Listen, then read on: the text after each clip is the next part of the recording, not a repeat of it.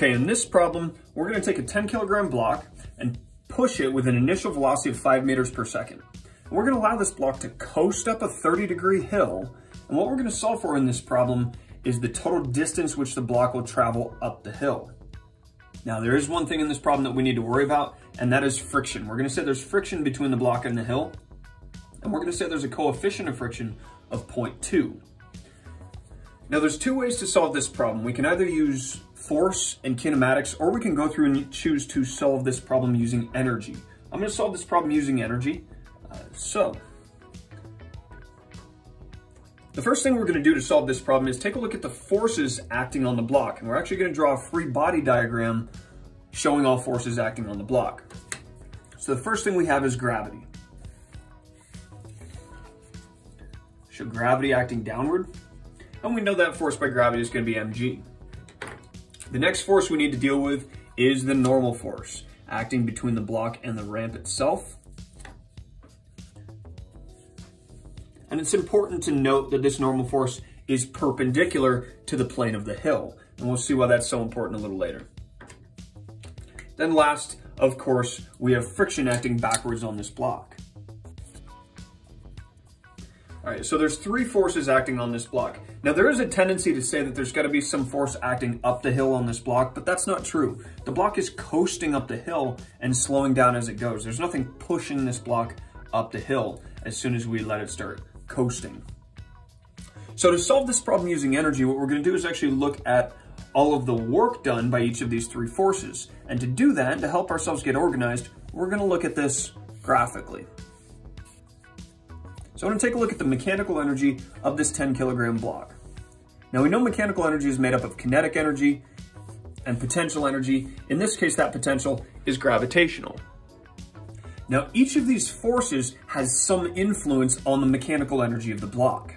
Now we know the block is initially moving, so it's gonna be starting with some kinetic energy. But as the block goes up the hill, gravity is gonna do some work on the block. Because the block is moving vertically, the block is going to gain gravitational potential energy. That is to say that the force by gravity is going to turn some of that initial kinetic energy into gravitational potential. So see, there's work done by gravity. Now the normal force, because the normal force is perpendicular to the displacement, it's not gonna do any work on the block. And that's because when we look at our equation for work, work is FD cosine theta, the normal force is at a right angle to the displacement, so there's going to be no work done by the normal force. Now last we have friction. Friction is acting backwards on the block. And so what it's going to be doing, looking at our work equation, I'm going to put a cute little box around this. Looking at our work equation, friction is acting in the opposite direction of displacement. So ultimately friction is going to be doing negative work. How do we know it's negative? Because there's 180 degrees between friction and displacement.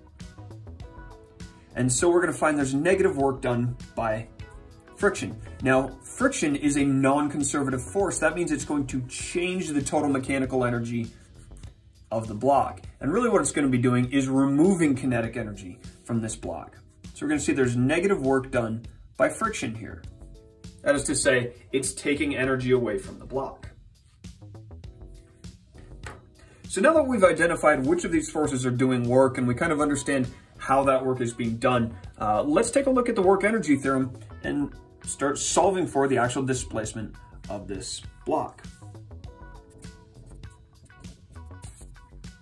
Uh, now, right off the bat, we know the block is initially moving. So the initial kinetic energy is going to be 1 half times the mass of the block times the velocity initially, that's 5 meters per second and this gives us 125 joules of initial kinetic energy. In this problem, this is really all the energy we have to work with. That's the initial kinetic. As the block goes up the hill, some of it's gonna turn into gravitational potential, and some of it will be lost to friction. Now the initial potential, that's pretty easy to deal with. Let's just go ahead and say this initial height is zero.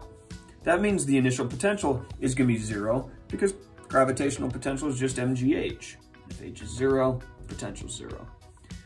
Now our non-conservative work term, this one's gonna be a little bit more complicated. Non-conservative work is the work done by all of the forces which are changing the overall mechanical energy of this object. Now gravity is simply shifting mechanical energy around. It's only friction that's acting as a non-conservative force or doing non-conservative work. So we can say the non-conservative work is simply the work done by friction. Now, work being Fd cosine theta, we need to figure out our force by friction. And so our force by friction we know is mu Fn multiplied by the displacement here times the cosine of the angle between friction and displacement. So this is going to be 180. Now we know the cosine of 180 is negative 1. Now, we don't actually know the magnitude of the normal force, but you'll remember, for a block on a hill, the normal force is mg cosine theta. So this is going to leave us with mu mg cosine theta d times negative 1. Now I want to be really careful about this. Theta, in this case, is not 180. 180, we're dealing with this equation, theta, that is the angle between the displacement and the friction force. But this little theta right here, coming from the normal force, well, that's the angle of the hill. So when we plug values into this, we're gonna get 0.2 times 10 times 9.8 times the cosine of not 180, but the angle of the hill, 30, times our unknown displacement, times negative 1. I'll just put the negative out front here. And this leaves us with negative 17d. So the work by friction, or non-conservative work, is negative 17d. Now, moving on to over here, our final kinetic energy. Well, the final kinetic energy is going to be zero. Why is it zero? Because the block stops up here. And last, we're going to deal with the final potential. I'll do this over here. Our final potential is going to be mgh, where h is the final height of the block. Now, the big mistake that occurs in this problem is people say the displacement is h. That's not true. Taking a look over here, I want you to realize h is the change in height, of the block. So if the block starts at this height, it's going to move up some distance h. And so we can create a relationship between the displacement, which we're trying to solve for, and h. Otherwise, we're going to have two variables floating around in here. Once you realize this angle is 30 degrees. So this means if h is equal to d sine theta, because it's the opposite side of this right triangle, our final potential is going to be mgd sine theta. We'll plug in numbers into this. We've got 10 times 9.8 times d times sine of 30. And this is going to leave us with 49d.